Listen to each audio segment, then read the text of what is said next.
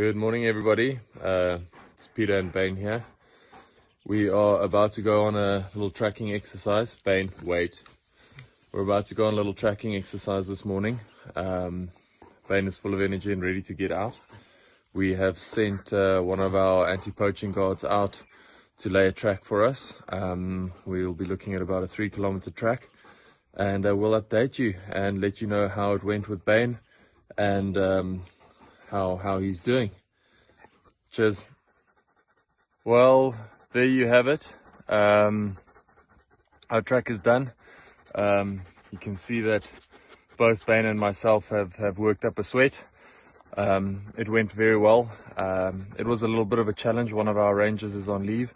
Uh, normally we're a two-man team, one checking visual spoor to confirm that we that we are constantly on the right track, and the other one is handling the dog.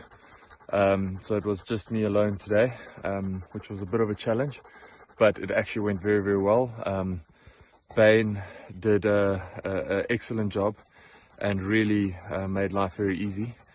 Um, so yeah, we lost GPS signal, so we're not 100% sure of exactly how long the, the track was, um, but it, it, it definitely was at least three kilometers.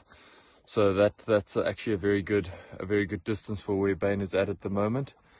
Um, yeah, so I just want to take a moment here to to just speak about what Bane actually means to us here in the in the bush. Um, you know, the his job really does start without him even being deployed in the field. The the deterrent factor of him being here has has made such a big difference. The the local community is is uh, all talking about this mythical dog that that can track anybody down and um, you know really do some damage when he finds them um, even though Bane hasn't actually, um, you know, bitten anybody, the, the, the rumors are spreading that that uh, he, he he really can he can take down any man, doesn't matter how, how big.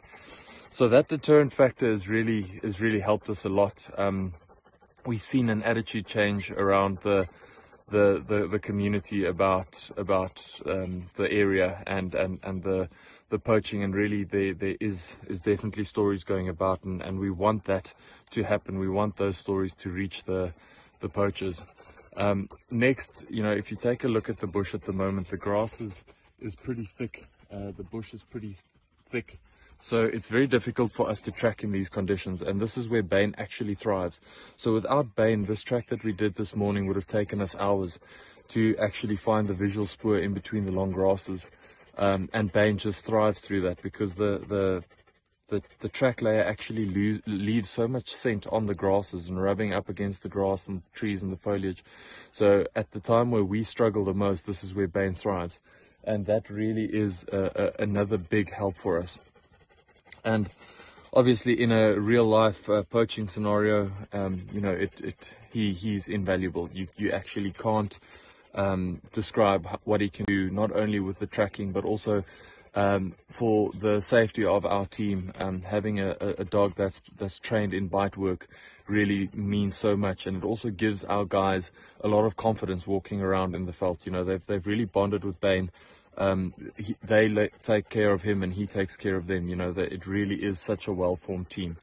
So, from myself here and Ben um, out in the bush in Africa doing what we need to do, we just wanted to say a big thanks to everybody who's contributing um, to Dogs for Wildlife. I know that not everybody can be out here in the front line and not everybody can be out in the bush the whole day, but you guys are making such a big difference to us and, and uh, such a big difference to our wildlife. Um, and then uh, we'd also just like to thank Jackie and Darren and the whole Dogs for Wildlife team. Um, we can't express our gratitude enough and we can't tell you what it actually means to us. So there you go, Bane. Say goodbye and we'll be, be seeing you guys soon. Cheers.